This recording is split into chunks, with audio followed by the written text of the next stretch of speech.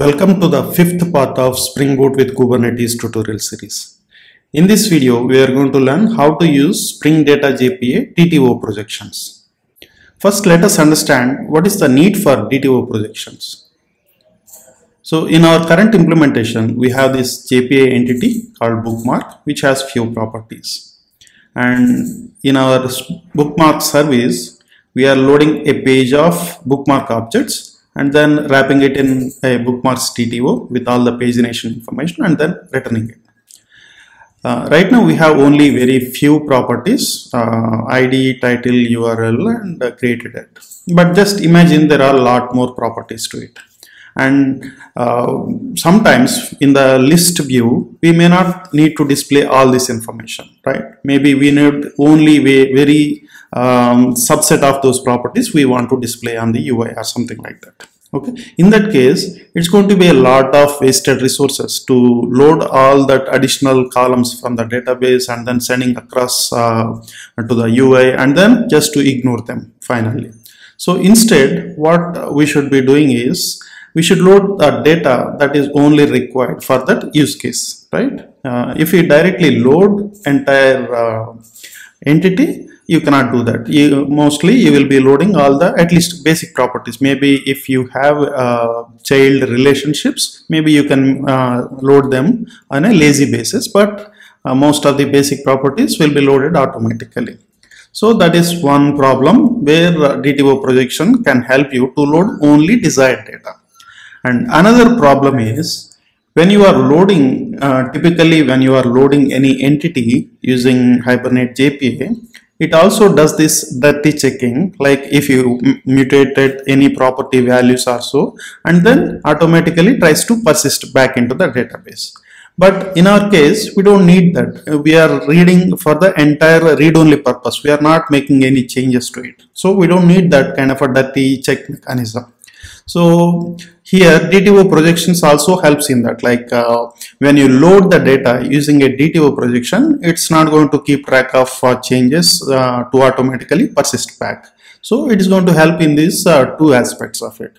So typically with this in mind what we do um, in generally people go and create a DTO mapper um, like to address the first to address the first problem of uh, um, I don't want to load all the data. I want to load only the required data. What people generally do they go and create a DTO let's call it as bookmark DTO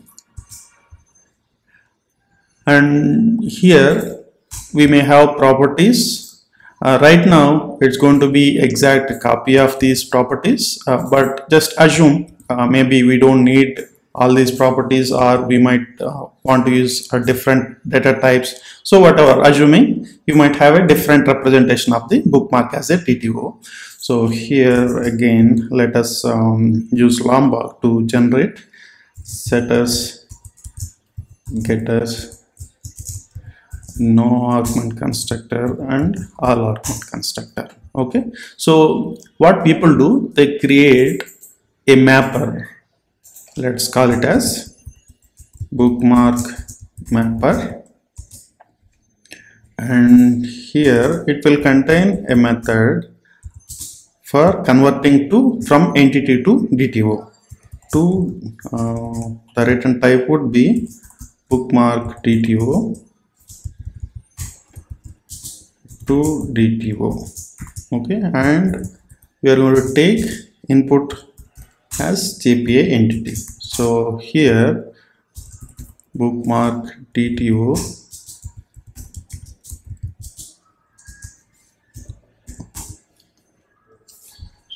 it is bookmark DTO and then return it. So what we do? Uh, we simply populate um, taking from entity dto dot set title.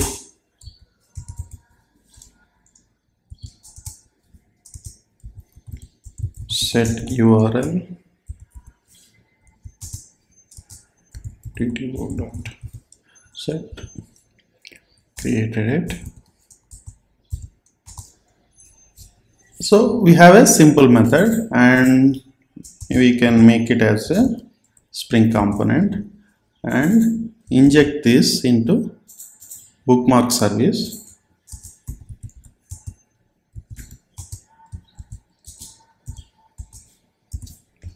So here once we got this um, bookmarks page uh, here uh, after calling this find all what we can do? We can map and let us use uh, bookmark mapper to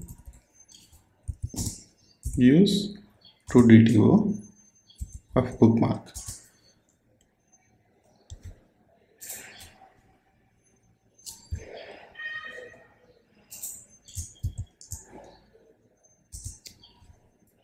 Oh, okay, so we can simply use method reference here. So now instead of returning um, bookmarks, it's going to return a uh, bookmark DTOs. So here we need to change this not to take entity but a DTO, right?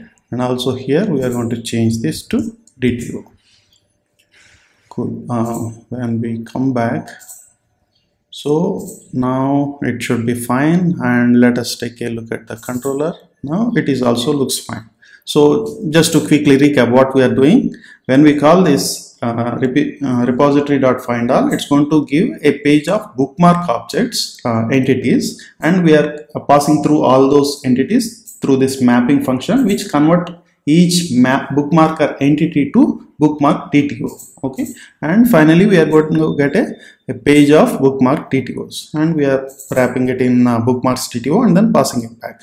Now if we start the application it should work exactly same because we are not even changing any names also in our DTO we have exact replica of uh, where is our DTO we have exactly same replica of the properties but just imagine like um, in your entity there could be a lot of uh, additional data but we don't want all that. Uh, we can have a subset of um, this one that suits for our use case. Okay? Uh, if I go back to localhost 8080 slash API slash bookmarks I get the exact same response no change. But here if you take a look at it the problem is we are still loading the bookmark entity from the database and then mapping it. Assuming let's say bookmark contains this entity contains around 20 properties and then we are loading all those 20 properties and then uh, dropping off while doing this DTO mapping but still we are loading all this additional data from the database which is unnecessary. So this is where DTO projections come into picture what we can do instead of loading the entities and then mapping in our code go to our bookmark repository and here let us create another method like uh, page of bookmark DTOs and let's find bookmarks called find bookmarks method which takes pageable argument. Okay? So here what we can do we can use at query. And usually what we can do using plain jpql we can say um, select b from bookmark b. We can leave it at, uh, and it would return uh, page of bookmark but we don't want to return bookmark. We want to return bookmark DTO so what we can do? New bookmark DTO so we are going to construct this object using uh, expressions right? We we have this bookmark DTO and it is in the package of com.sivalabs bookmarker domain. So let me copy that. Okay. So here uh, also we have all ours constructor right? So what we can do it's gonna take um, id and bookmark dot title bookmark dot url bookmark dot created at. Okay. So what we are doing here um, when we load the data itself we are saying only we need these columns and then we are constructing a bookmark DTO object and uh, Spring Data JPA takes care of applying the pagination instead of loading everything. So finally we are simply returning bookmark DTO page not the bookmark entities page okay and when we come back here instead of uh, calling this find all and then doing the mapping now what we can do let's call find bookmarks and pass pageable that's it. You don't need that uh, mapper. Okay. Cool. Now let us restart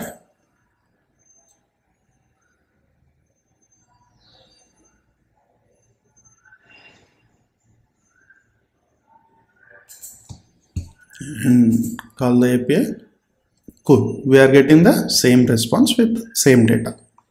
No change in the behavior but right now we are optimizing the query uh, loading where we are not reading unnecessary data and we are not reading the uh, entities in a editable mode. We are just reading as a DTO so that it doesn't do any of these dirty uh, checking mechanisms and all those things. Okay. So now let us uh, take a quick glance at the documentation about projections okay? Um, let's see. We have a uh, here an example of person entity with few properties okay? So there are two ways we can achieve these DTO projections. One is interface based projections. What we can do instead of uh, creating a class we can simply create an interface and create these getter methods. Um, just it's not uh, plain properties. Usually we have this java bean naming convention right? Suppose if you have first name property the getter would be get first name. So we can simply define these getters and then use this collection or page whatever and use that interface type so Spring Data JPA is going to take care of uh, doing that uh, mapping and then uh, binding to these properties like uh, loading first name column into this property and last name into this property and you can use uh, name only uh, object in your code. Okay, that is using interface based projections. Another approach would be using class based DTOs. So here we have class based projections using DTOs. So here we can create a class and then uh, create these properties and then uh, have a constructor based on whatever the attributes you want to construct. And then you can have getters only. And finally you can simply uh, use that again in the same way. Like instead of using interface you will be using this class. So this is the approach we followed. Class based uh, projection. We created a class okay? And uh, we created this uh, projection so that's how we can use these uh, DTO projections to load only selective data that is optimized for your use case and uh, not doing all this dirty checking which uh, inherently going to uh, yield better performance. Okay, cool. We are almost done with our first API implementation to get bookmarks with pagination support. However, we haven't written any tests for it. But for this API endpoint, there isn't much business logic. Uh, we are just reading the data from database and then uh, wrapping it in a DTO and then returning it back. So instead of writing unit tests, I would like to write a integration test using test containers. So if you are not familiar with uh, how to write unit tests, integration test and all, I have created a video on Spring Boot tips testing. So where I talked about how to create uh, unit tests, slice test and integration tests. And also I have created another video, um, Spring Boot tips, integration testing with test containers. So this is what we are going to do for our API uh, testing. Like we are going to use test containers to spin up a Postgres uh, database as a Docker container and then we are going to hit the API endpoint to fetch bookmarks. So that's what we are going to implement in the next video.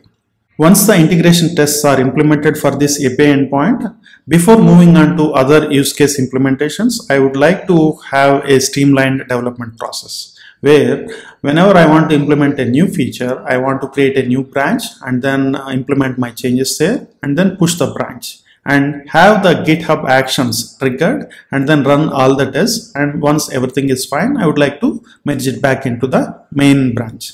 So once we are uh, done with this integration test, that is what we are going to work on, setting up the GitHub actions um, pipeline. Okay, cool. The ORM frameworks, Hibernate and JPA, they are very easy to get started but hard to master there are a lot of complex topics that uh, that takes some time to understand. I would like to give uh, reference to some of the best resources that are available. One is uh, vladmihalcea.com so here um, if you ever work with hibernate and jpa most likely you already know about this site and him. He is the best man who knows everything about uh, hibernate and jpa so here you can go to his blog and you can come here tutorials and hibernate. Uh, here you can see a ton of tutorials organized very nicely. So you can learn every topic that is uh, relevant to hibernate and jpa okay? And also there are other tutorials like uh, um, uh, SQL and Spring. Go and check out. He contains best tutorials about Hibernate. Okay? And another very wonderful resource is uh, thoughts on Java. Earlier it used to be thoughts on Java I guess. Uh, now it is changed to uh, this. Here he has a lot of wonderful high quality tutorials. You can go here and see there are lots of tutorials and also uh, he has a YouTube channel where he posts a lot of amazing high quality videos about Hibernate and JPA. I strongly recommend you to subscribe to this channel and then watch this so that you can use Hibernate and JPA in a very performant way. Okay, so yeah, I strongly recommend you to check out these two uh, resources. Okay, cool. So that's all for this video and I hope you are enjoying this series. Um, stay tuned for the upcoming videos. Thank you. Bye bye.